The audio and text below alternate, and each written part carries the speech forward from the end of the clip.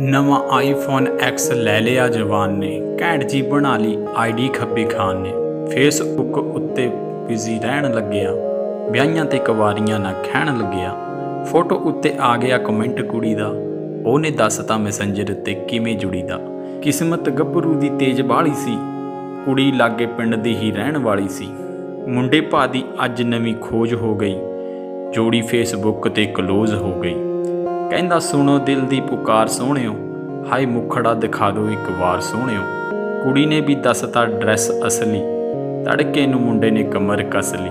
ਛੱਤ ਉੱਤੇ ਖੜੇ ਦੇਖ ਕੇ ਰਕਾਨ ਨੂੰ ਆ ਗਿਆ ਫਲੈਂਗ ਕਿਸ ਦੇ ਕੇ ਜਾਨ ਨੂੰ। ਜੇ ਕਰਦੀ ਏ, ਮੈਨੂੰ ਸੱਚਾ ਪਿਆਰ ਸੋਹਣੀਏ। ਖੁੱਲ ਕੇ ਜੇ ਮਿਲੇ ਇੱਕ ਵਾਰ ਸੋਹਣੀਏ। ਕੁੜੀ ਕਹਿੰਦੀ, ਕਰਦੀ ਪਿਆਰ, ਮੈਂ ਵੀ ਸੱਚਾ ਮੁੰਡਿਆ। ਮਿਲੂੰਗੀ ਜ਼ਰੂਰ ਵਾਦਾ ਪੱਕਾ ਮੁੰਡਿਆ। ਦੂਜੀ ਮੁਲਾਕਾਤ ਕੰਮ ਫਿੱਟ ਹੋ ਗਿਆ। 12:30 ਟਾਈਮ ਸੈੱਟ ਹੋ ਗਿਆ। 10:30 ਯਾਰ ਜੀ ਨੇ ਕਿੱਕ ਮਾਰ ਲਈ। ਮਾਲ ਮੂਲ ਖਾ ਕੇ ਸੂਈ 90 ਤੇ ਝਾੜ ਲਈ। 12 ਵਜੇ ਸਹੇਲੀ ਵਾਲੇ ਪਿੰਡ ਪਹੁੰਚ ਕੇ ਗੱਭਰੂ ਨੇ ਸੁਣੇ ਜਦੋਂ ਕੁੱਤੇ ਭੌਂਕਦੇ। ਹੀਰੋ ਹੋਂਡਾ ਗੰਨੇ ਓਲੇ ਟੇਡਾ ਪਾ ਲਿਆ।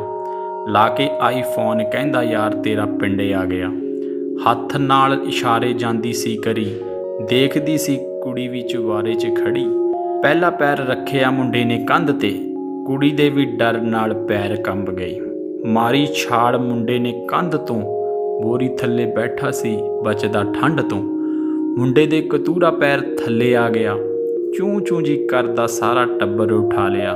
ਕੁੜੀ ਨੇ ਮੋਬਾਈਲ ਫੋਨ ਪਾਸੇ ਰੱਖਤਾ, ਸਿਮ ਕੱਢ ਕੇ ਦੰਦਾਂ ਨਾਲ ਚੱਬਤਾ।